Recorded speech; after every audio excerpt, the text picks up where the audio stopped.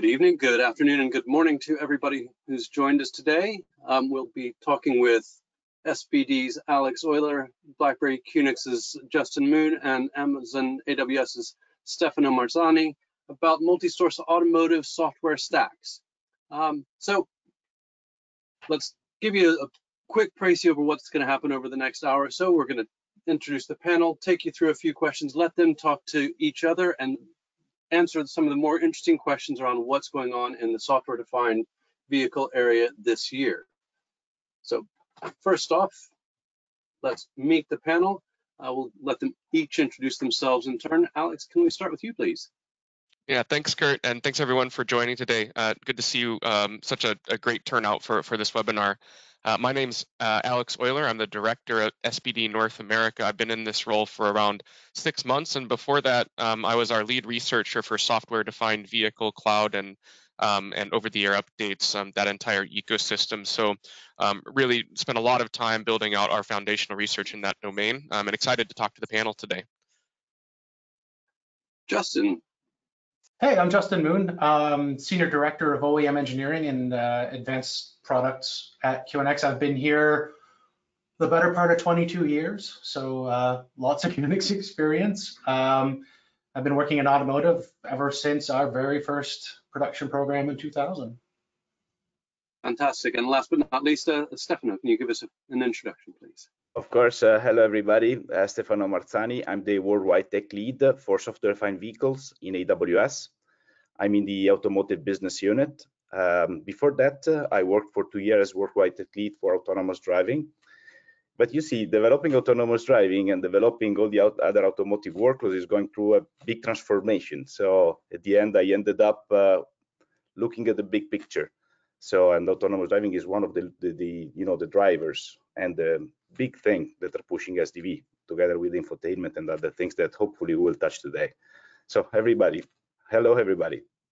Fantastic. Thank you guys. So when we talk about who are you? I'm sorry. Yes, I am the moderator today. I I entirely forgotten about myself. I am the moderator. I am Kurt Dusteroff, a consulting manager from SBD. My background is in infotainment and speech control, and I look after our enabling technologies. But today, I'm all about just making sure that you guys have some interesting panel conversations, and uh, we get to hear from what you have to say.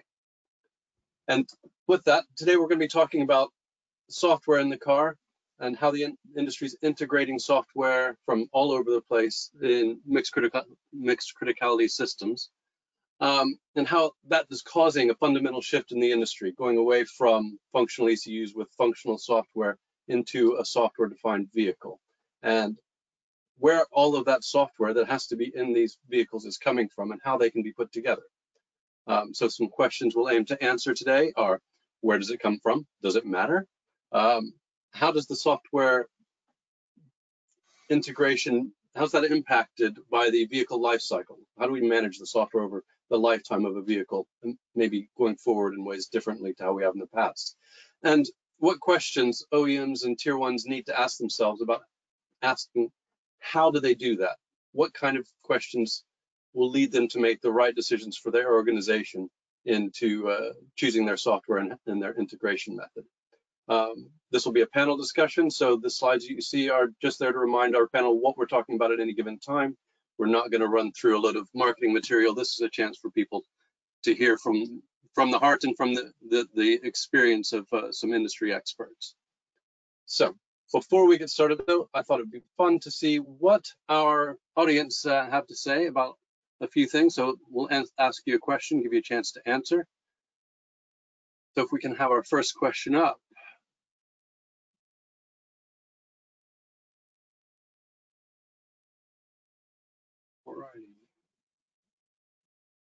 I can't see that screen.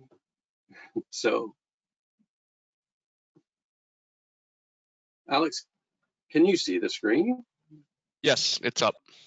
Can you read the question then so that everybody's got a chance to hear it as uh, well as see it? Yeah, so so so for those in attendance, the poll question is approximately how much of an OEM's quote unquote own build operating system or OS do you think currently comes from outside the OEM?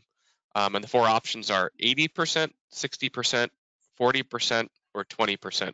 once again, the question is approximately how much of an OEM's owned build OS do you think currently comes from outside the OEM? We'll, we'll give everybody a, a, minute or so to answer that, but it's an interesting question, uh, Alex, given the number of different OEMs who've talked about building their own software.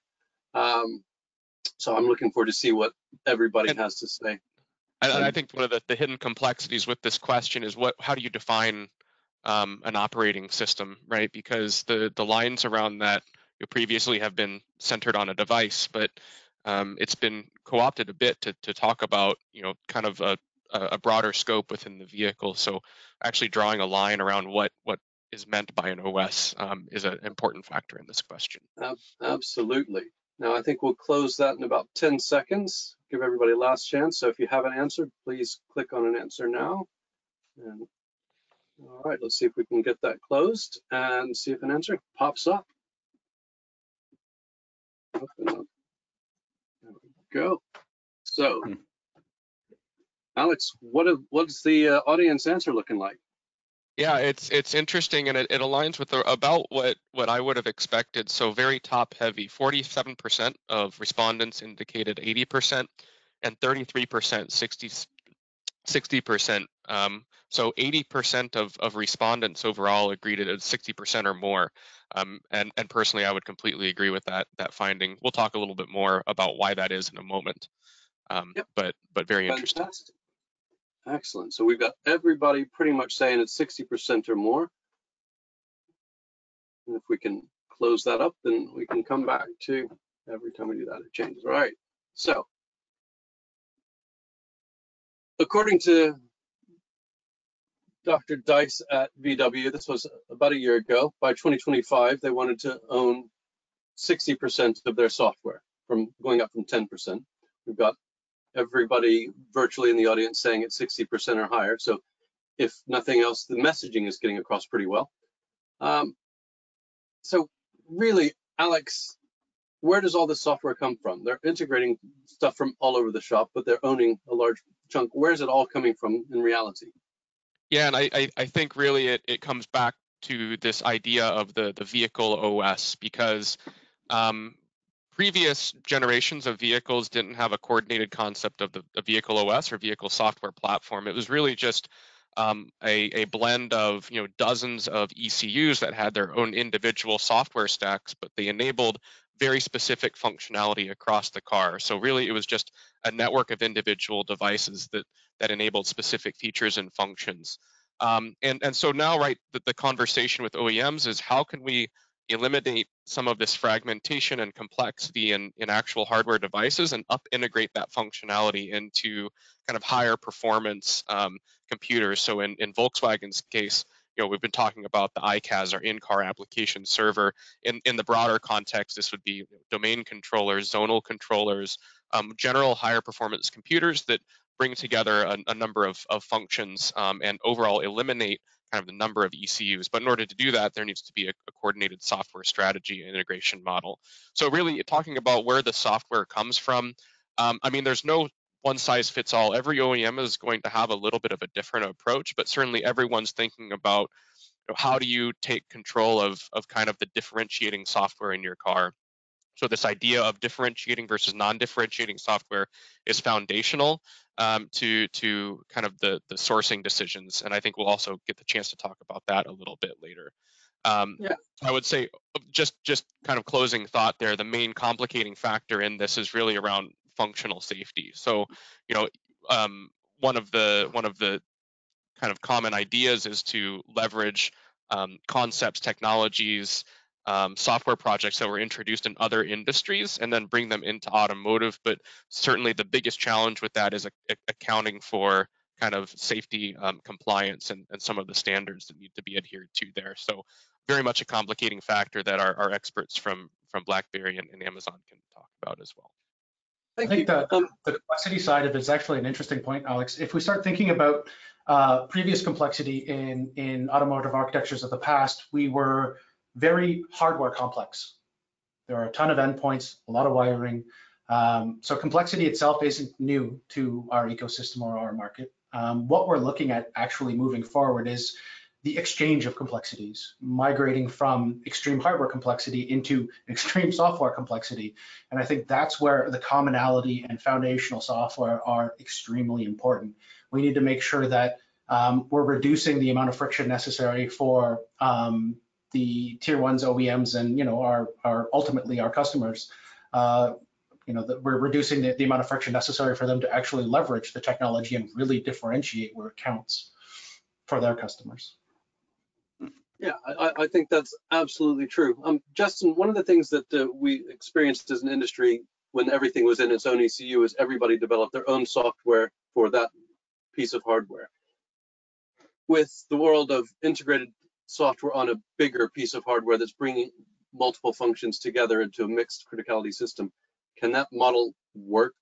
Can it scale? Is the industry going to have to do something differently to make that complexity manageable? Right. So we talked about complexity as kind of one of those cornerstone things from, from an SDV perspective where complexity needs to be solved. But another big point is scale. Um, if everybody's building their own bespoke thing and they're building complete solutions per feature, from a from a um, an up integration perspective, it gets very difficult because now you're not only integrating middleware and application level, but you're also starting to integrate fundamental platform level software as well. Really, what we're talking about with scale um, is reuse in, in the investment that we're making into the software of tomorrow. So whether or not we're building a cockpit controller or an ADAS domain controller or a high capacity compute domain, what we need to understand is what does it mean to leverage similar foundational software such that we're increasing the potential of reuse and the economies of scale really of the investment that we're putting into software.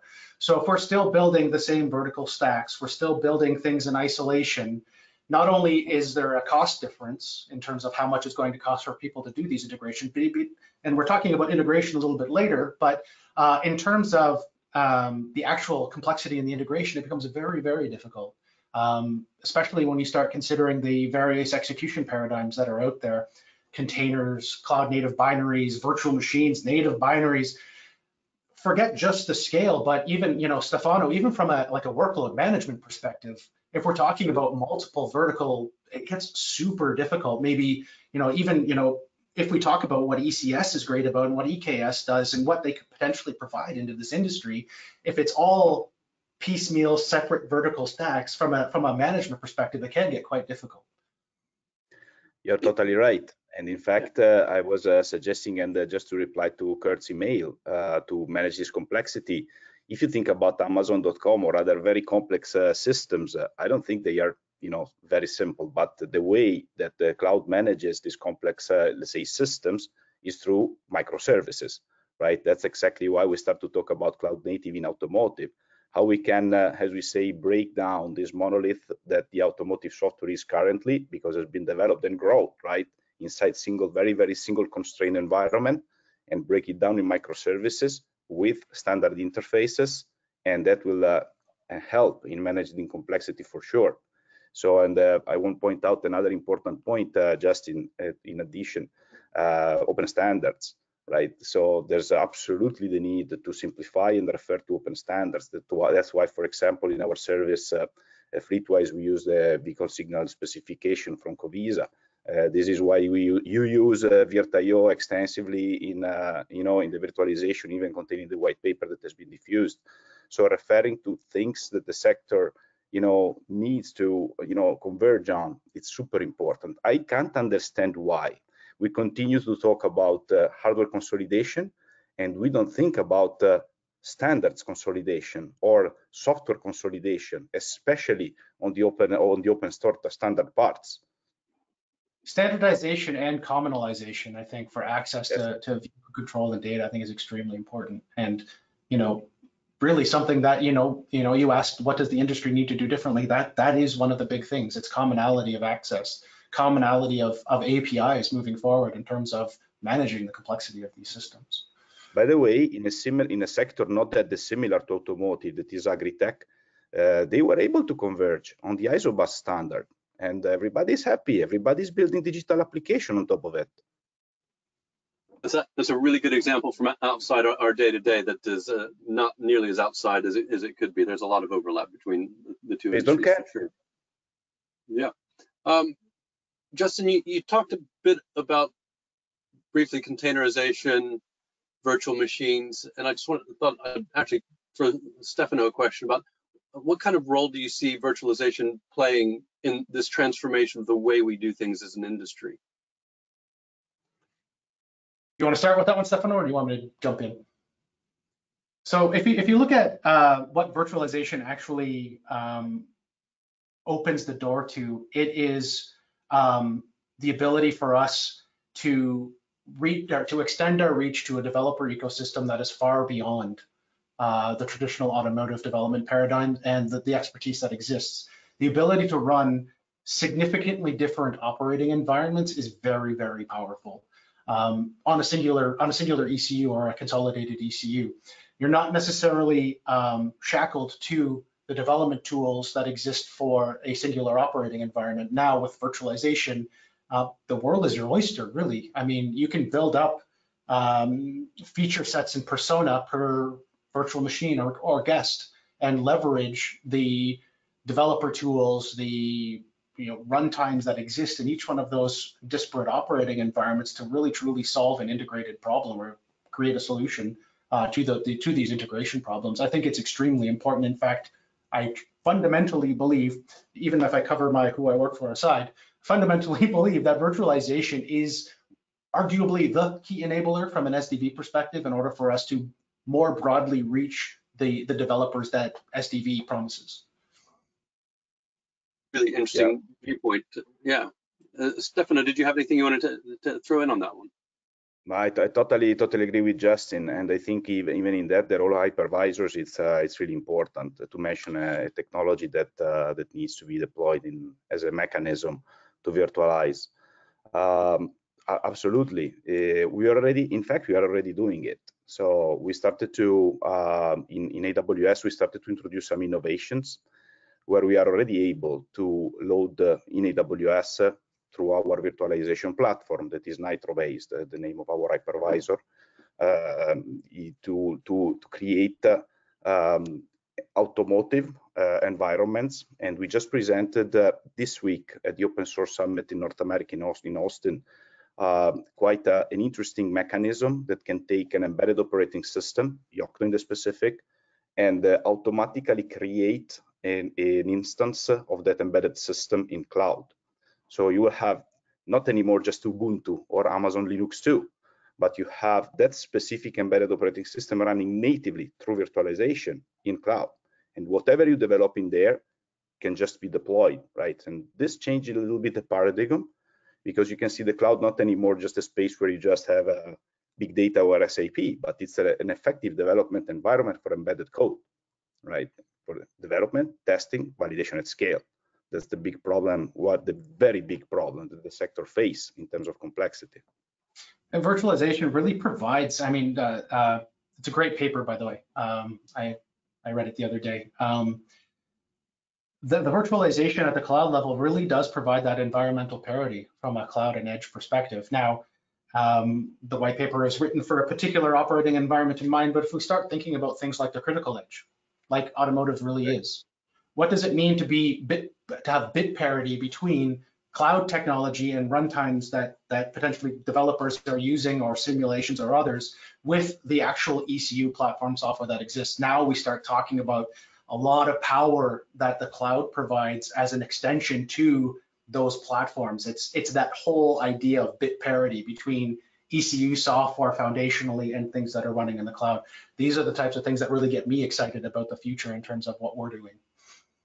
Fantastic, and that that is, and if we think back from where the industry was 15, 20 years ago, it's just mind blowing the difference of of what you can do. Um, so given that we've got all of these advances, um, does it really matter where the software comes from that goes into a car? Does it matter if it's own built, tier one so software, open source, uh, hmm. vendor software?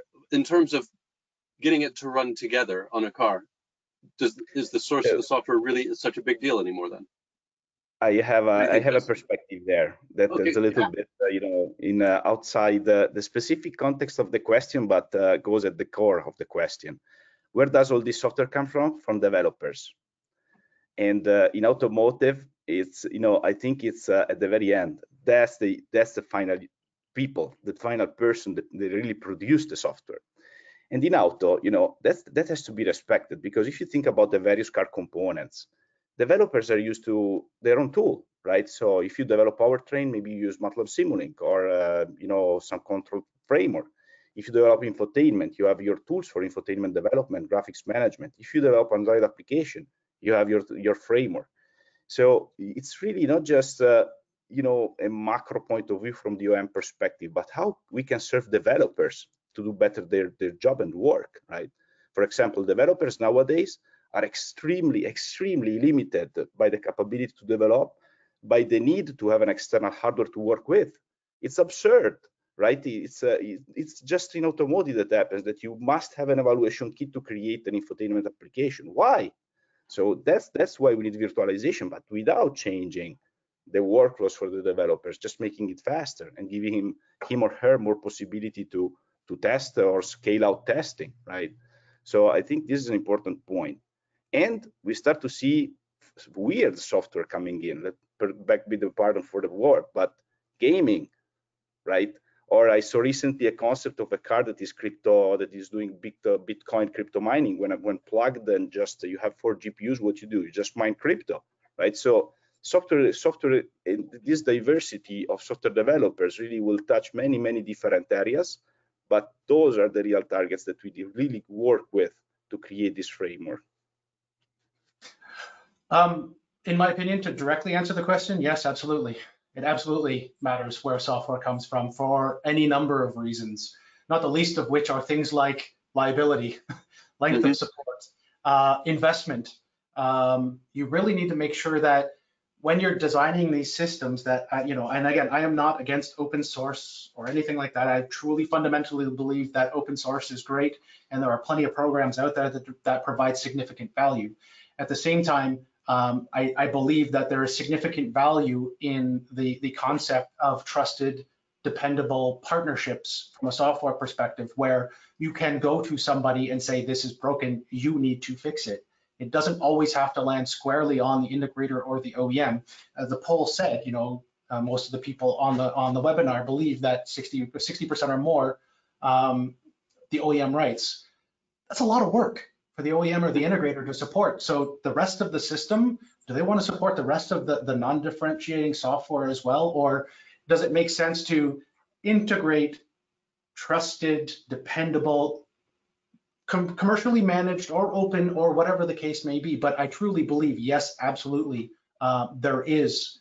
Uh, you, you need to know where the software comes. Not only do you need to know, but there are you know legislative things in the world today that dictate you must know where everything comes from. So uh, yeah, I mean there's there's this the softer side of it, the non-technical side of it of uh, liability and investment and focus and all of those types of things. I think that's why it's really important where where software comes from, even if it does hit the mark in terms of feature sets, etc.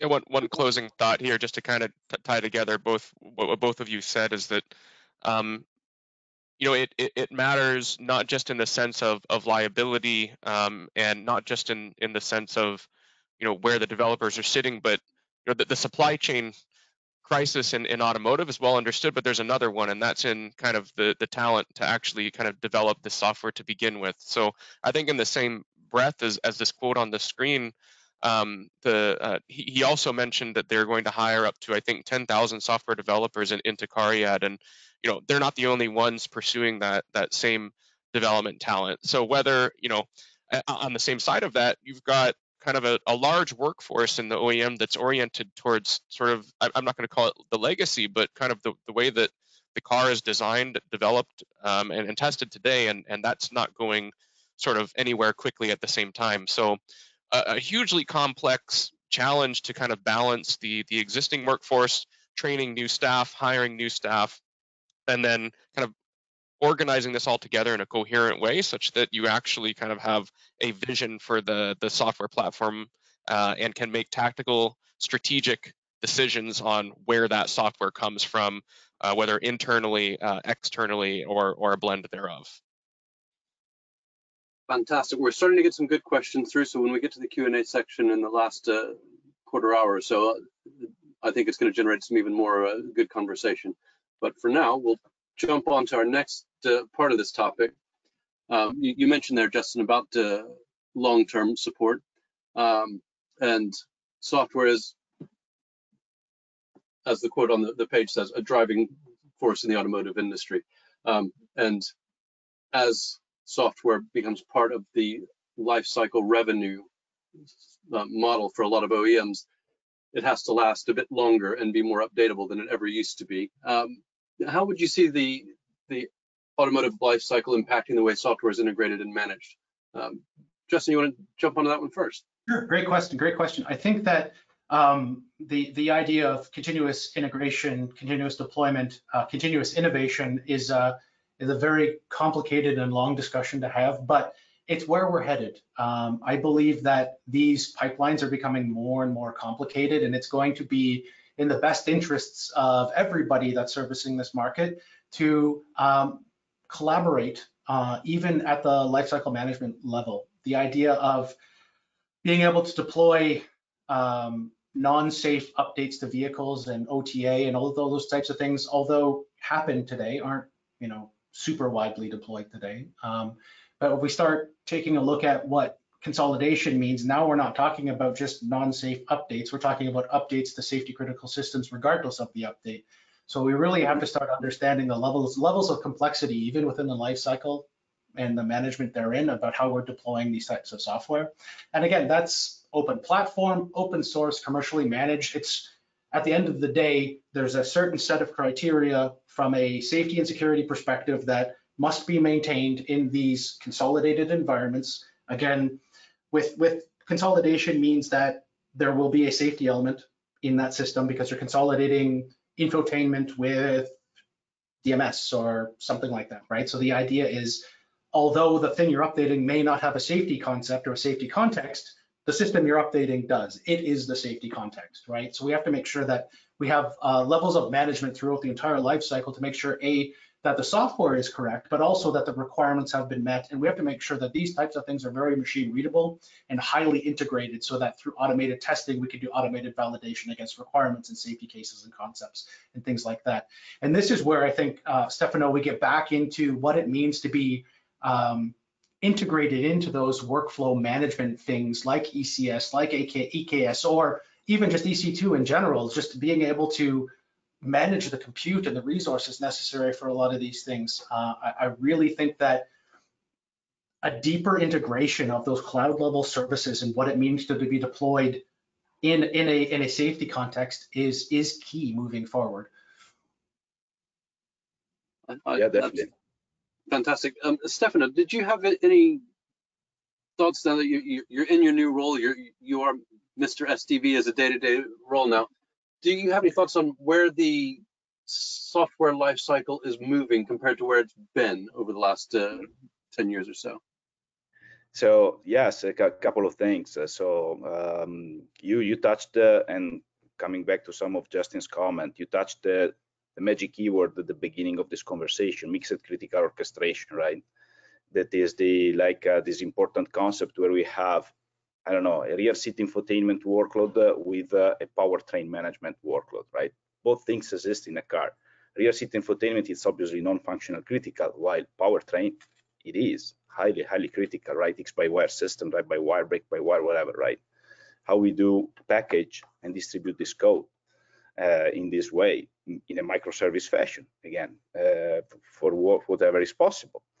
And uh, so surely we start with uh, um, an approach that is uh, cloud native and uh, we start with at least two customers it's public so with continental and stellantis you saw in both collaborations that we are having that the concept of a cloud native workbench for engineering workbench is an important element of the collaboration in both cases.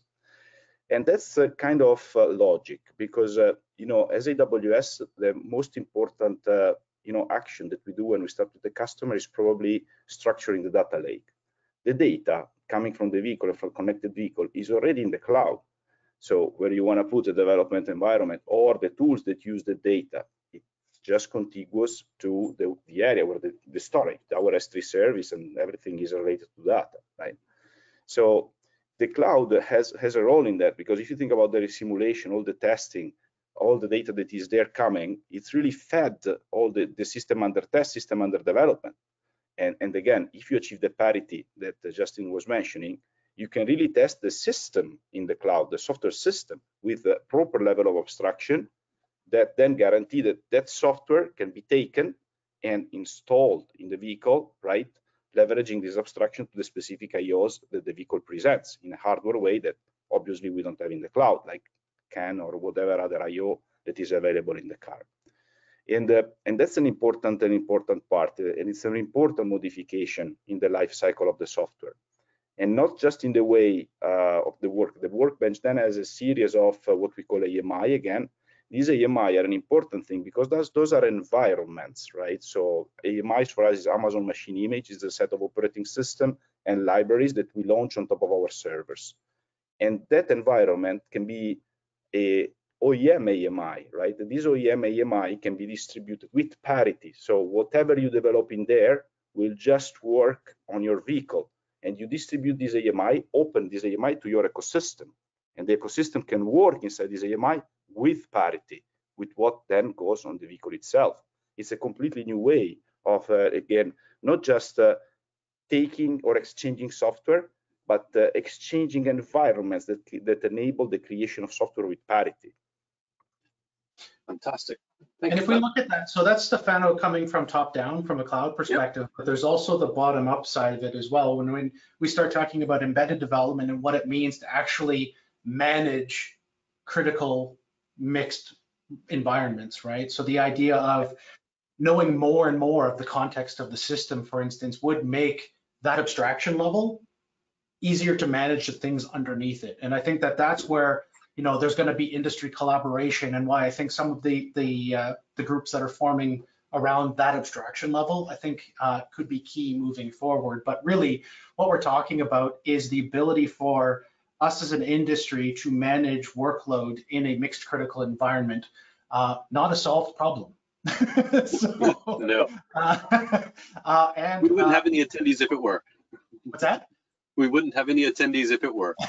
yeah, uh, but I, I, believe it's it's you know it's fundamentally it is like-minded technology organizations that are looking at this as as the real problem. It is the how do I manage to Stefano's uh, example, how do I manage the powertrain and the infotainment sets of workloads they have, disparate types of technology. It could be a VM, it could be a container, it could be native binaries, dependent upon the characteristics of the execution environment. How do I schedule all of those things? How do I manage all of those things? How do I meter and report those things back to a grander orchestration? How do like how do we do that and still make the freedom from interference claims and separation and segregation claims that are required in order to still hit the safety requirements of these systems? Unfortunately, I don't have a solution. I'd love to say, and today I have the QNX, you know what I'm saying, but uh, uh, I, I uh, it's definitely something that's you know hitting our wheelhouse as a, a, foundational platform software organization. These are the types of things that we're looking at um, and working with some some very interesting partners about how we take the top and the bottom and make things happen. Well, if we take the top and the bottom, Alex, we end up meeting in the middle um, with any luck at all. Uh, how how do you see the industry approaching this need to find that abstraction layer cooperatively and, and bring together a combination of open platforms, commercial platforms, their own ideas, and, and try to get some of this uh, commonization that we, we touched on very early on in the, in the webinar. How, how, do you see the industry approaching some of that? Well, I'll, I'll get to that question in a second, but I kind of want to frame it because um, it, it's relevant to again what both both Justin and, and Stefano were saying.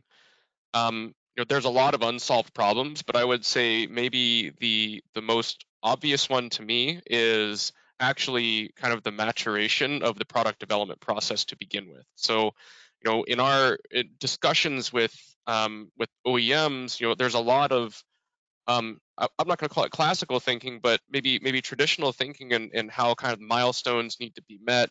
And even though we're saying, oh, we're going to introduce this, you know, high performance compute, um, you know, we're going to be changing or iterating on our, our EE platform. it's still there's I think there's a fundamental disconnect between kind of what we're talking about in in principle and, and what's being done kind of at a, a management level um, within OEMs. So you know, first and foremost, um, there needs to be sort of a, a, more nuanced level of thinking in terms of how the core platform development is managed and how sort of application software is managed in order to achieve actually that more sustainable, manageable um, kind of software platform in the vehicle over time. So the key enabler in that, besides the, the process, is in that abstraction and management layer. And, and to that effect, um, you know, this, this concept of, of middleware, um, to, to kind of borrow, a, again, an enterprise IT term, um, it, it, it's interesting because there, there's no like one set path. So adaptive AUTOSAR is one great example of, of, a, of a, a standard or a, you know, a set of APIs that um, is being uh, used in, in various domains. But you know, I, I, think you know some of the the the projects um, and consortia that are coming together to talk about how do we sort of start standardizing those interfaces that's going to be foundational to that conversation the unfortunate problem being that kind of this first next gen of um, vehicle platforms that OEMs are developing aren't going to be able necessarily to leverage the, the fruits of that labor. So we're still going to have a bit of fragmentation in the industry as we sort of evolve towards a, a more mature thinking about the, the non-differentiating um, and enabling uh, software. Evolution, not revolution, right? Exactly. Fantastic. By, by, by, by, necessity, in a, in a way. Yeah. yeah. We, we can go at, at, a faster pace, but it's still at a pace that we can go at. Um, with that in mind, let's see if we can uh, get another question for our audience, wake everybody up, get it back involved before we go into this last bit of this uh, this webinar. Um, so Alex, if you can ha have a readout of that one, please. Yeah, our second question is, um, which of these following options delivers the highest value benefit from cloud-based tools within your continuous integration, continuous delivery process, or CI/CD? Select one, simulation for testing software, software composition analysis, integration coordination, or automated delivery. Again, the question is, which of these following options delivers the highest value benefit from cloud-based tools within your CI/CD process? There are many other tools available for certain, but thought we'd choose a selection of ones and get an indication from the audience uh, where they they sit, what they they see as the the biggest value generators for for their day-to-day world. Um, so we'll give everybody a minute or so to uh, click on a button there, and then we will carry on with our last topic and question for the day before we open up to questions.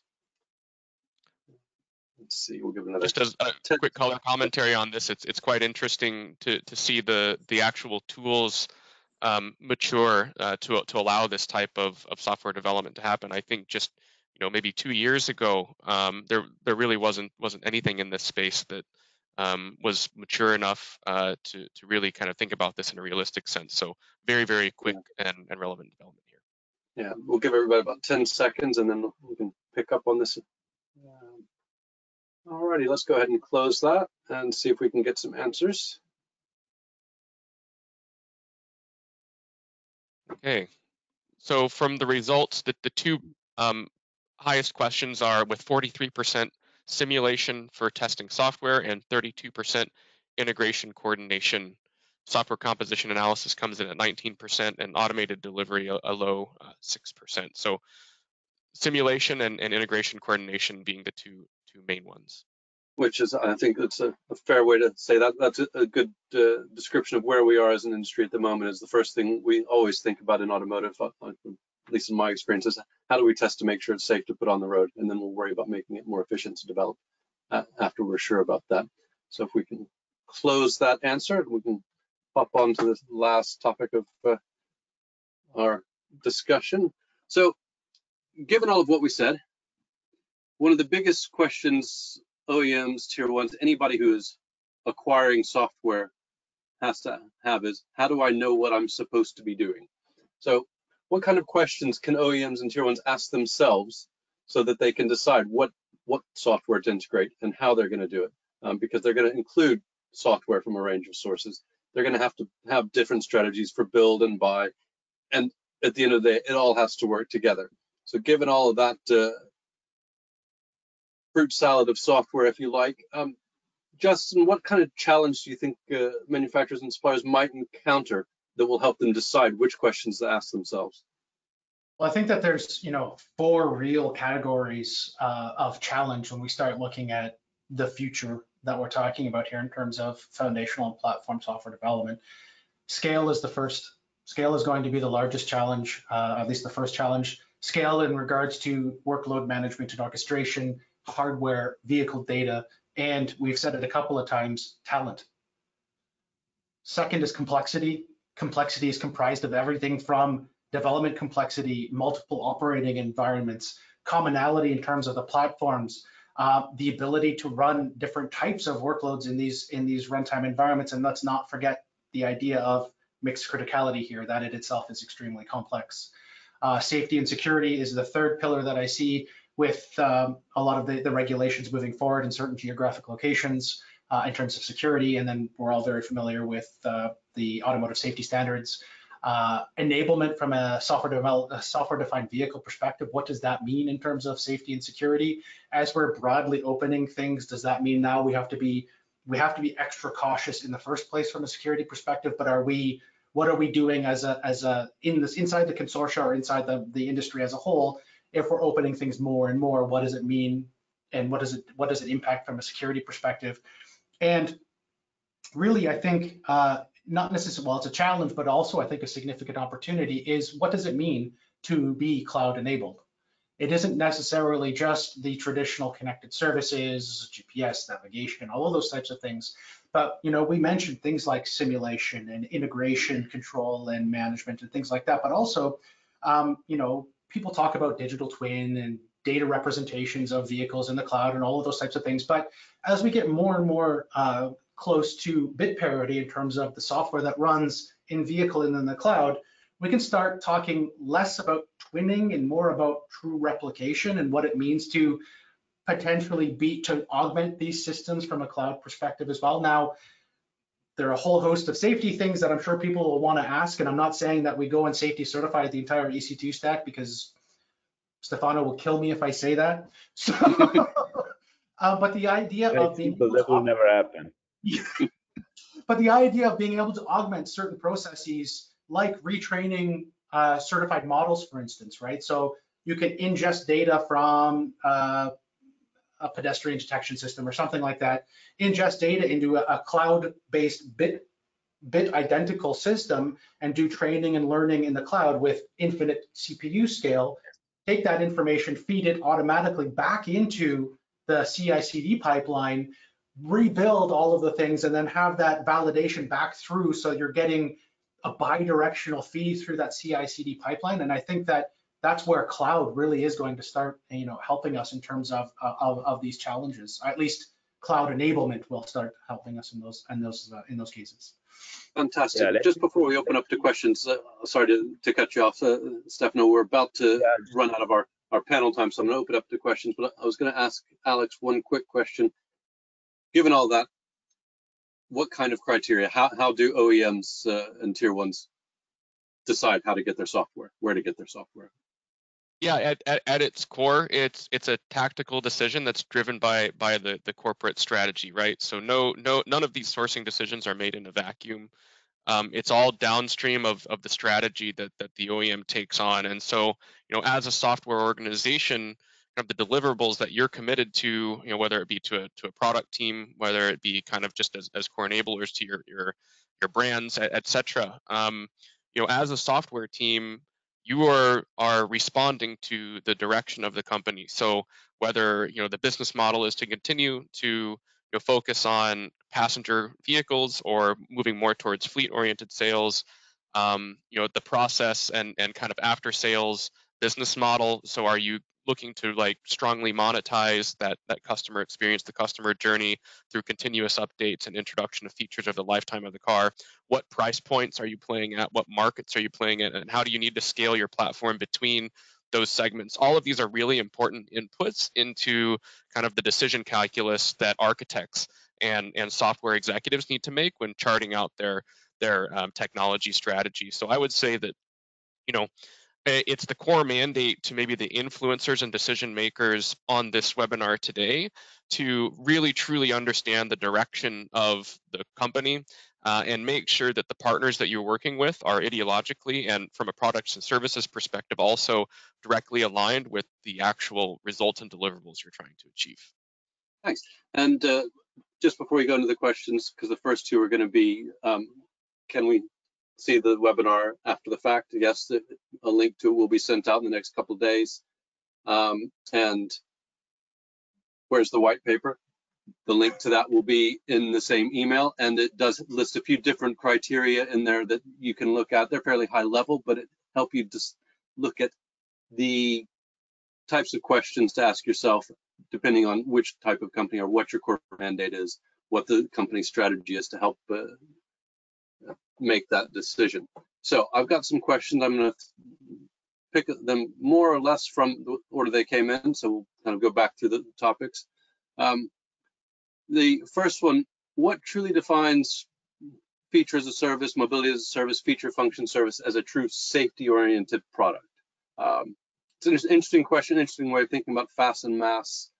um, as needing to be safety oriented. They're in vehicles, so that you know there's always a safety indication. Does anybody have a, a desire to jump in there first, or it's a really different way of looking at it? I think it's interesting. Um, mm-hmm. uh, anybody who's in the audience has, that has spoken to me about safety in the past, I'm going to say it depends, and they'll they'll get it when I. but it really depends on the safety concept that's associated with the thing that is going to be backing the particular service. Um, be, because there will be multiple ECUs, multiple platforms that will surface those services, um, there's going to have to be significant argumentation in between all of the various la layers to ensure that we insulate ourselves purely from a service perspective where we're doing the, the star AAS things um, from the actual critical or foundational components. But it's an interesting question. I've, to be honest, not really thought about from the that level what it means to to truly affect the safety case. But um, the unfortunate safety answer is it depends. yeah, I, am my, my immediate thought was I'm thinking of features like um, configurable suspension. You know, I'm going away for a weekend to somewhere with a bit of a rough road. I want a softer ride great feature, great service. At some point in that stack, you're hitting a safety critical system. So yep. dynamicism is an interesting core problem set to solve from a safety perspective. Yes. Yeah, yeah, it really is. Yeah, it's, uh, you know the frameworks anyway are uh, are there to help, right? So functional safety and the safety of the intended functionality with a data with a connected approach, right? So I think uh, frequently we mm, tend to forget that the human anyway is relevant in a human automation interaction perspective, even in, in guiding the evolution of the system, right? So. Yep. No, that's it's a it's a good way of thinking about it. We have another question I, came to my mind at the end of the first poll. We said pretty much everybody says that currently the OEM software stack is effectively 60% or greater owned um, which is kind of the opposite of where the VW quote came from, saying uh, a couple years ago they were at 10%, they want to be at 60% in three years' time. Um, the questioner says, does this reflect, paraphrase it, a bit of a misunderstanding about the complexity and return of value for different types of automotive software um, and what owning software actually means? Is, is there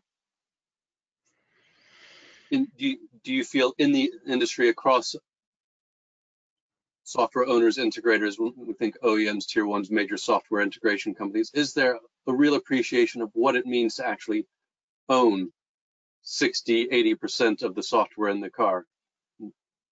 Yeah, I mean, we. I, I think if I can kind of take a, a first stab at this, I, I think what we've seen time and time again is a bit of a, a whipsaw uh, within the industry um, you know, kind of back and forth, where where a lot of the root of this pain is in the inability to change. So, you know, if you want to introduce a new feature after the sale of the vehicle, if you want to improve the user experience, if you want to act on customer feedback, it's incredibly difficult in the kind of OEM tier one out, you know, fully outsourced system integration model to to be responsive to consumers and kind of the competitive um, ecosystem. So you know, I would say that's kind of the biggest driving factor. And in you know, it depends on the OEM. I think a, a lot of OEMs do have a reasonably um, strong appreciation for the complexity that they're taking on, hence kind of the size of the investments that are being made.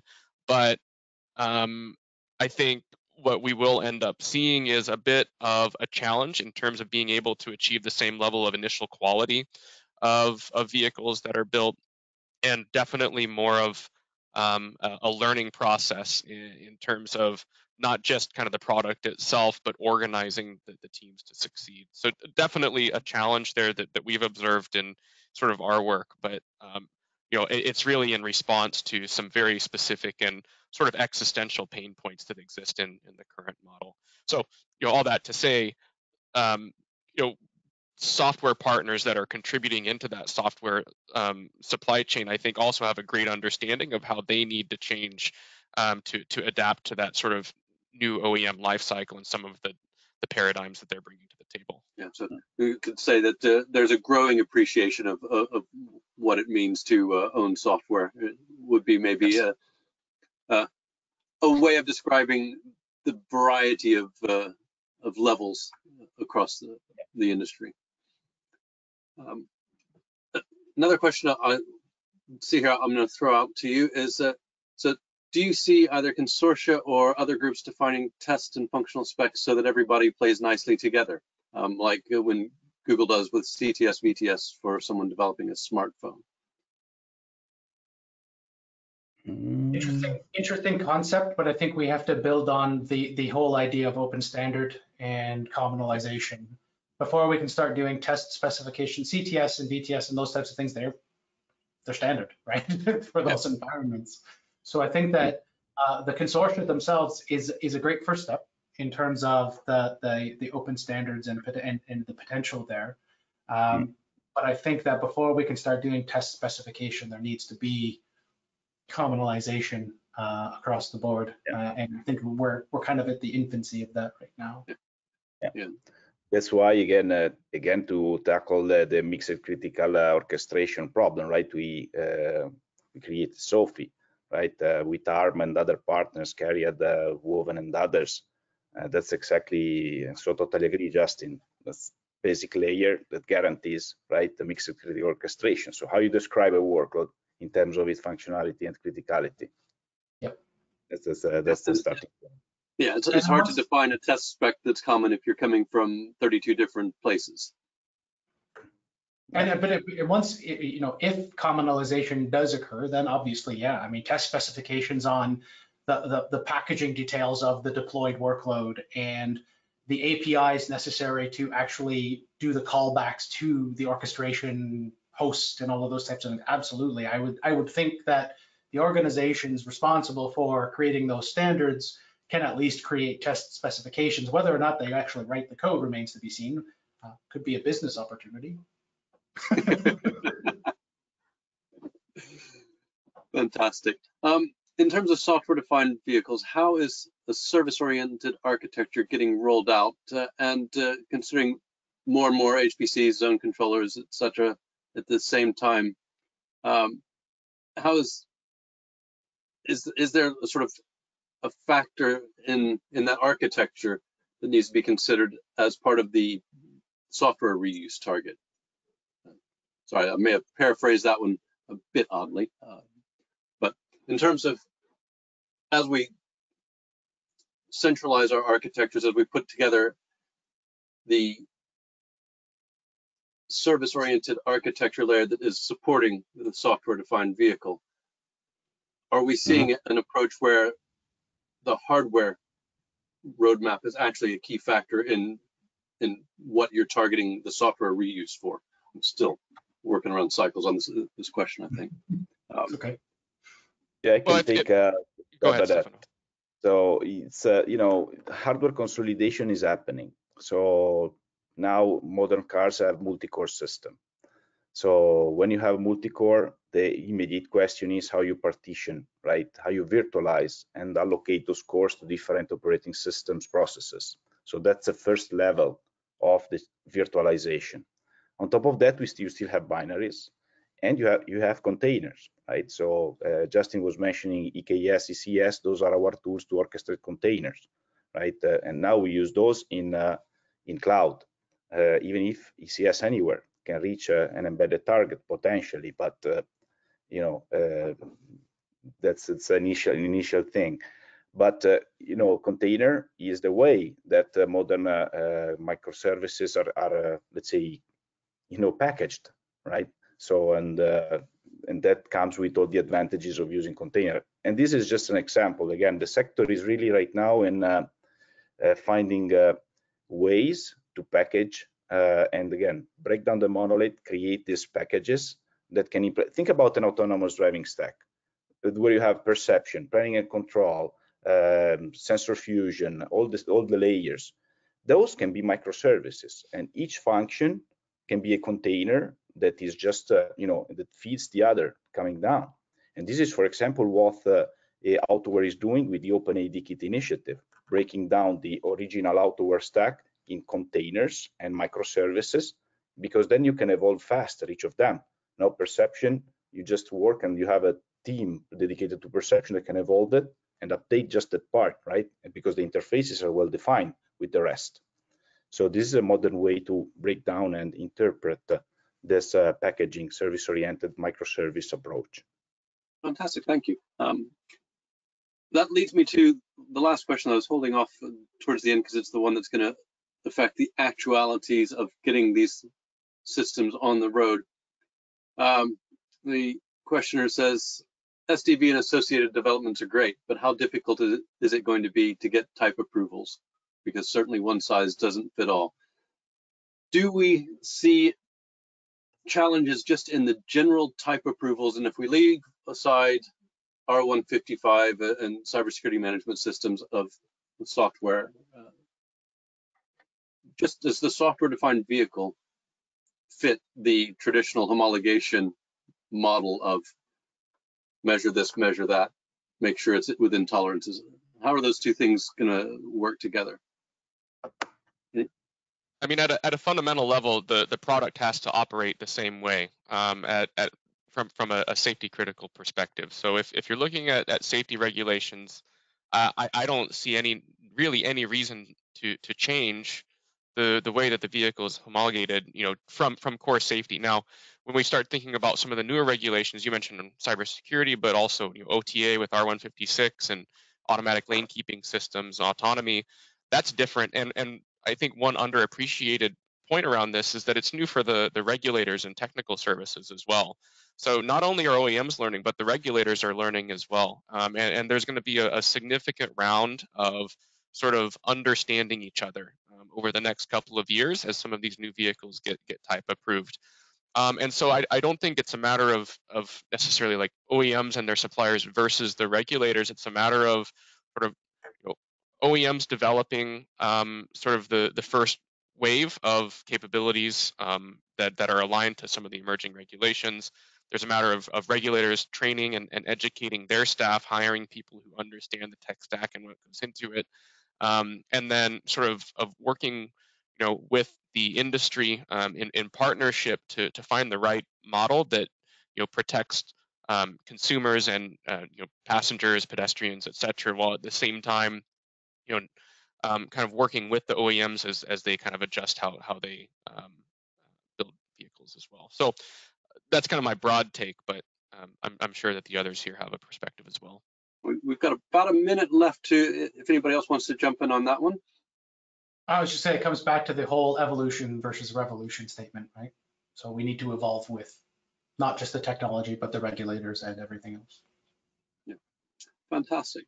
And on, on that note, I think I'll say thank you to everyone who's uh, stayed with us for the hour. I think it was a fascinating conversation. I certainly learned a lot from you guys. I hope uh, you were able to learn a little bit from each other and that everybody on board got something uh, valuable out of it they can take home and help the industry move forward. So thank you, everybody. Awesome. Thanks a lot, everybody. Yeah. Bye bye. Thank you.